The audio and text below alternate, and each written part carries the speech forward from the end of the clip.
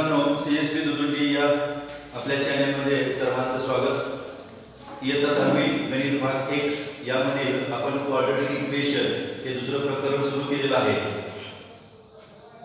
याची जी काही मी अगोदरचे जे उदाहरण सोडून दिलेले आहेत ते व्हिडिओ तुम्ही अजून पाहिले नसतील तर या व्हिडिओच्या काही डिस्क्रिप्शन बॉक्समध्ये मी त्याची लिंक देतोय. आणि त्या लिंक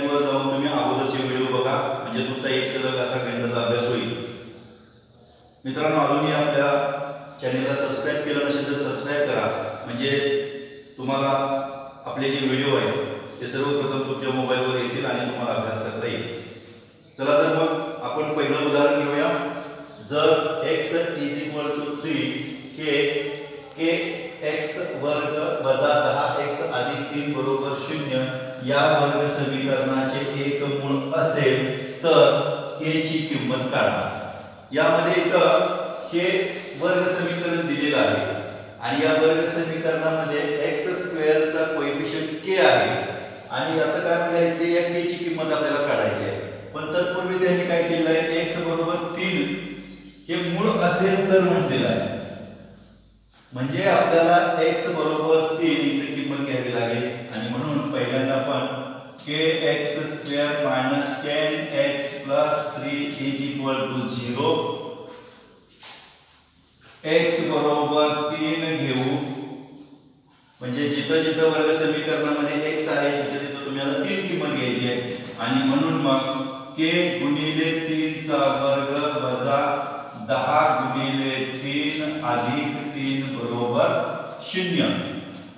आणि म्हणून मग के गुणिले तीनचा वर्ग आला नऊ वजा दहा गुणिले तीन तीस अधिक तीन बरोबर शून्य म्हणून नाईन के मायनस तीस आणि अधिक तीन वजा तीस आणि अधिक तीन वजा सत्तावीस बरोबर शून्य. आपल्याला तीस इक्वल टू सत्तावीस आर एच एस ला घेतला बरोबर चिन्हाच्या या बाजूला घेतला तर अधिक सत्तावीस होईल. आणखी मग के बरोबर के ला इथं नऊ गुणिले आहे. ते इकडे आल्यानंतर काय होईल? भागिले होईल. मी आता एक असं लिहितो. के बरोबर सत्तावीस छेद नऊ म्हणजेच के बरोबर नऊ एके नऊ नऊ त्रिक सत्तावीस. म्हणजे जी आपल्याला विचारलेला आहे के ची किंमत काढा. तर इथं आपण काय केलेलं आहे? के ची किंमत काढलेली आहे के बरोबर तीन. तुम्ही आता याचा स्क्रीनशॉट घेऊ शकता किंवा आपल्या वहीमध्ये हे उदाहरण लिहून घेऊ शकता. दुसरं उदाहरण आपण बघूया.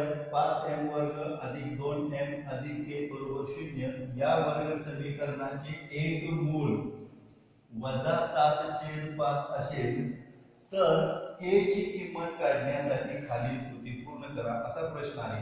कृती पूर्ण करा याचा अर्थ त्यांनी उदाहरण सोडवून दिलेलं आहे. फक्त बॉक्सेस दिलेले आहेत. बँक जागा दिलेली आहे त्या फक्त आपण भरायचे असं काही अवघड नाही. आता इथे काय म्हणते बघा पहिली रिकामी जागा पाच एम वर्ग अधिक दोन एम अधिक एक बरोबर शून्य. या वर्ग समीकरणाचे एक मूळ. आता इथे रिकामी जागा आहे एक मूळ. आता उदाहरणामध्ये बघा बरं या वर्ग समीकरणाचे एक मूळ किती आहे? वजा सात छेद पाच. पहिली रिकामी जागा आपण आता इथे दुसरी आहे बघा म्हणून M is equal to M बरोबर इथे एक बॉक्स दिलेला आहे. वरील समीकरणात ठेवू. म्हणजे एम ची किंमत आपण कोणती घेतली पाहिजे? तर एम ची किंमत आपण वजा सात छेद पाच ही किंमत घेतली पाहिजे. वरील समीकरणात ठेवू. आता दुसरी स्टेप पाच गुणिले पाच एम वर्ग पाच एम वर्ग वर्ग आहे म्हणजे वजा सात छेद पाच. अधिक दोन गुणिले एम आहे.